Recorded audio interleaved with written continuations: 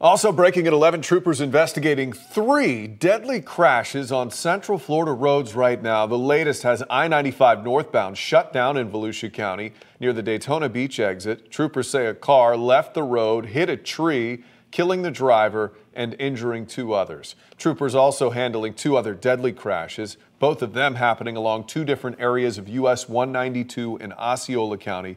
Troopers say in one of the cases, a car hit and killed a motorcyclist. 192 and Vineland Road. They say that vehicle let, left the scene. We'll let you know as more info comes in on this breaking story.